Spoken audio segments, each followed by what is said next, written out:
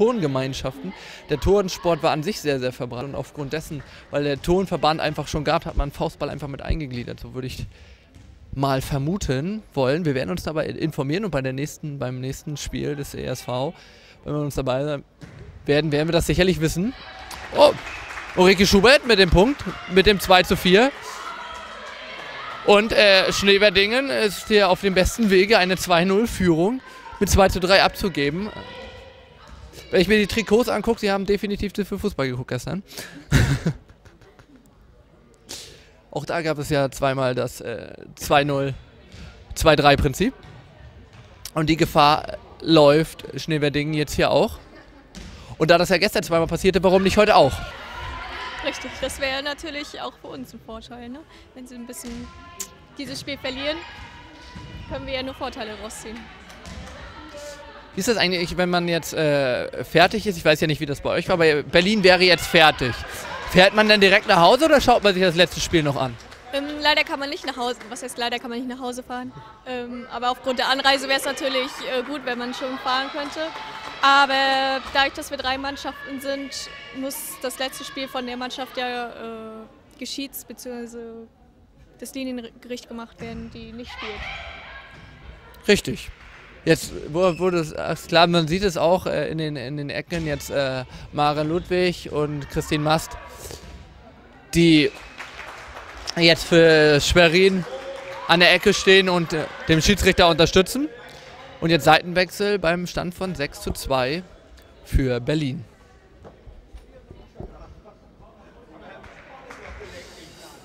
Ja, aber man hat auch den Eindruck, dass Schneeberdingen das eigentlich auch ziemlich egal die haben jetzt ein bisschen Spaß, wir machen jetzt ein bisschen Sport, aber ergebnisorientiert spielen sie nicht mehr. Nö, aber das braucht, also es wäre natürlich schön, wenn sie gewinnen für sie selber, aber den Klassenerhalt haben sie ja sicher und die ersten beiden sind, glaube ich, auch schon fest. Also das ist. Ja, die ersten beiden fahren dann zur deutschen Meisterschaft und dann äh, gegen die ersten beiden äh, aus der Südstaffel ist dann quasi ein Turnier, findet dann statt. Genau, das genau, ein Turnier. Und wo ist das?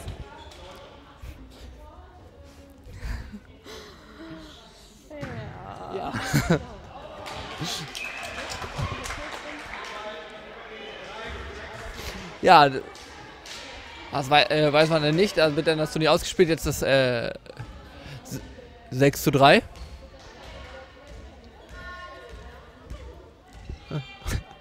Ulrike Schubert jetzt mit der Angabe für Berlin. Aber sonst kannst du mal unseren Trainer fragen. Der äh, hat immer sehr gut alles auf So Ereignisse. Ja, da werden wir äh, gleich sicherlich nochmal nachhaken, dass wir das nachreichen können. Was interessiert uns äh, ja dann doch. Und jetzt beim Stand von 7 zu 3 Angabe durch Laura Morowke.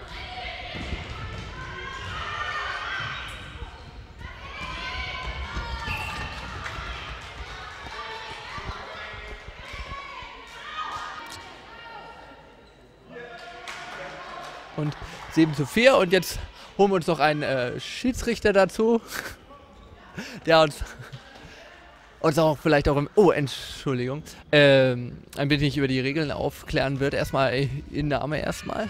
Mein Name ist Pasch Jörg, Landesschiedsrichterwart aus MV. Landesschiedsrichterwart, das hört sich sehr wichtig an. Was hat ein Landesschiedsrichterwart zu tun? Der Landesschiedsrichterwart. Erstmal versucht er eben halt den Schiedsrichternachwuchs zu werben, auszubilden und äh, unterm Strich eben halt wenn sie dann ausgebildet sind, sie weiterhin zu fördern, am Spielfeldrand dazu zu motivieren, das Spiel so zu leiten, wie es eben halt den Spielregeln entsprechend ist. Wir haben, wir haben jetzt äh, gehört, dass äh, Faustball an sich äh, große Schwierigkeiten mit dem Nachwuchs hat. Äh, wie wird man dann auch noch Faustball-Schiedsrichter? Tja, wie wird man Faustball-Schiedsrichter? Ja. Ich würde mal ganz höflich sagen, ich wurde ein bisschen da reingeschubst, weil ich eben halt äh, auch so eine Person bin, die eben sehr gerne darauf achtet, dass die Regeln als solches Spielregelwerk eingehalten wird. Und dort hat man mich eben halt mal gefragt. Ich habe gesagt, okay, ich nehme das auf mich, ich setze mich auf die Schulbank, lerne die Spielregeln, gehe zum Lehrgang und lege dort dementsprechend eine Prüfung ab. Diese habe ich eben halt auch in meinem Bereich so gemacht. Unten angefangen mit dem C-Schiedsrichter, also den kleinsten Schiedsrichter, dann fortführend über den B-Schiedsrichter, über die Regionalmeisterschaften pfeifen dürfend. Und eben halt äh, dann in meinem letzten Lehrgang derzeit ist der A-Schiedsrichter, der im Endeffekt die Bundesligaspiel pfeifen darf. Und hat man gefragt, naja gut, du kannst das soweit. Wie sieht's aus? Machst du dann auch die Ausbildung dazu? Okay, habe ich gesagt, setze ich mich wieder auf die Schulbank und habe eben halt auch die äh, Prüflehrgang gemacht, so dass ich eben halt äh, Schiedsrichternachwuchs dementsprechend darf, den die, das Regelwerk, die Regelwerkkunde beibringen, so dass sie im Endeffekt auch regelkundig und sattelfest in der Richtung werden, dass sie wissen, aha, das steht da in diesem Heft drinne, so muss es gespielt werden, so muss es im Endeffekt auch angewendet werden. Ja, es gibt auch hierbei, sage ich mal, bestimmte Punkte. Regelwerk ist eben halt das, was da drin steht. Das muss so gemacht werden. Und dann eben halt diese sogenannten Situationsentscheidungen, die sogenannten Tatsachenentscheidungen. Und das ist immer so dieses äh, bestimmte Maß, Fingerspitzengefühl. War sie nur dran? War da an der Leine? Ist der Ball nur aus gewesen? Das muss man auch mal sehen, dass man dort ähm, das Fingerspitzengefühl sagt, hat man es nicht gesehen, bei der ersten Bundesliga Männer ist es eben halt auch viel, dass dort mit Block gearbeitet wird. Das heißt, eine Mannschaft spielt den Ball vor an die Leine, die die, die abwehrende Mannschaft ist, stellt dort vorne jemand an die Leine ran, der den Angriff abwehren darf. Würde jetzt zum Beispiel die Situation sein, jetzt hätte der Gegner eingreifen können und dem Gegner, den Angreifenden eben halt den Ball vor der Nase wegschnappen. Das ist so eine Art Blocksituation. Dort passiert es aber viel, dass eben halt ein Ball in eine Leine geht, an die Decke geht. Oder dann kann man nicht entscheiden, wer war als letztes an dem Ball dran, wem will man den Minuspunkt geben, wer hat den Pluspunkt dafür. Und das eben halt unterm Strich rauszukriegen, man dann im Endeffekt, ich habe es nicht gesehen. Diesen Schneid muss man eben halt haben und sagt dann im Endeffekt, die letzte Angabe wird wiederholt. Weil man es nicht wirklich sehen konnte, wer war als letztes am Ball. Ne, das ist die sauberste Entscheidung. Und sowas eben halt auch äh, den Kleineren schon beizubringen, ist, sage ich mal, verdammt schwer, weil die auch noch nicht so das Auge dafür haben, die das, dieses mitverfolgen. So wie du jetzt hier unten auch bei, siehst beim Ingmar, der läuft ja auch hier hin und her, so wie ich das ja auch gemacht habe.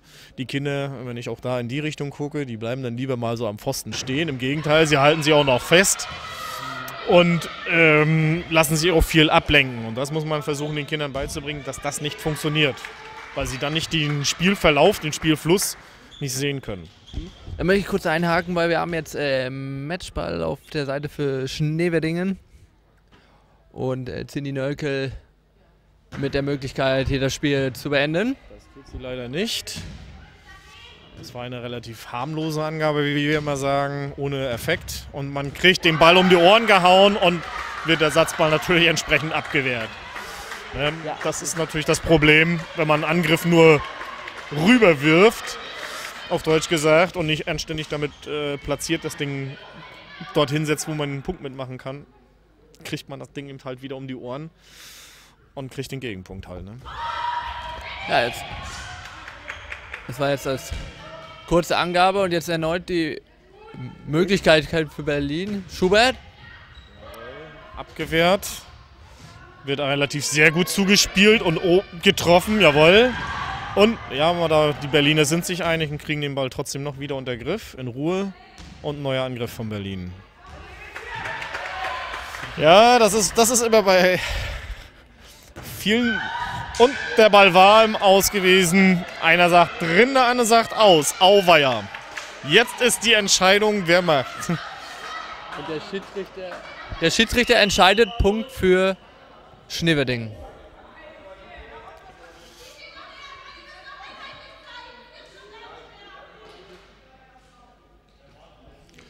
Den Punkt wurde für Schneverding gegeben, weil sich die beiden Linienrichter nicht wirklich hundertprozentig dort Einigkeit gezeigt haben. Der Schiedsrichter ist.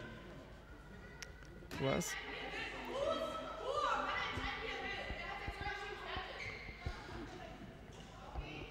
Gut, dies ist so, was ich vorhin gerade sagte, eine sogenannte Tatsachenentscheidung. Wenn man das Quäntchen, so wie ich schon vorhin sagte, Glück hat, ich dürfte jetzt eigentlich dazu gar nichts kommentieren weil ein aktiver Schiedsrichter dort unten in dem Moment nicht in seine Entscheidung eingegriffen werden darf. Und meine Entscheidung wäre gewesen, der eine hat ausgezeigt, der eine hat drin gezeigt. Ich hätte mir jetzt beide Linienrichter zu mir geholt und dementsprechend befragt, alleine unter den Linienrichtern und mir. Ich hätte alle anderen weggeschickt. Dementsprechend dann mir die beiden Spielführer halt herangeholt und hätte entsprechend entschieden, was wird gemacht. Sauberste Entscheidung wäre jetzt gewesen, einen sogenannten Nullball zu geben und die letzte Angabe zu wiederholen. Das wäre die saubere An Gelegenheit gewesen. Wäre, glaube ich, auch in dieser Situation beruhigender gewesen. Gut, Ingmar hat sich jetzt hier durchgesetzt, es ist auch in Ordnung so. Und man muss die Entscheidung im Endeffekt für den Schiedsrichter akzeptieren und auch respektieren. Und der Schiedsrichter sieht diese Situation auch nur ein einziges Mal. Wir haben hier nicht die Möglichkeit, sowas in äh, Sekundenentscheidung, so jetzt gucke ich mir den Ball nochmal an und entscheide es dann. Sowas gibt es bei anderen Sportarten auch nicht. Da wird auch keine Kameraentscheidung gemacht, das entscheidet der Schiedsrichter. Und gut ist. Na gut, dafür ist er letztendlich auch da. Dafür gibt es einen Schiedsrichter, der den Kopf hinhält. Oh, den kriegt sie nicht mehr. Schade. Und damit äh, geht der Sieg hier mit 3 zu 2 an äh, TV Schnarren Jan Schneverdingen. Ich bedanke mich bei äh, Alexandra Schlicht und dem Schiedsrichter, äh, dem Schiedsrichter für die netten Kommentare das ganze Spiel über und jetzt auch für die äh, nette Erklärung. Ne, perfekt dazugekommen. Wir haben die Situation auch gleichgestellt für Sie zum Erklären. Das hat äh, hervorragend äh, geklappt. Vielen Dank dafür und äh, wir schauen uns gleich noch das dritte Spiel an zwischen dem ESV Schwerin und dem TV Jan Schneverding. Vielen Dank.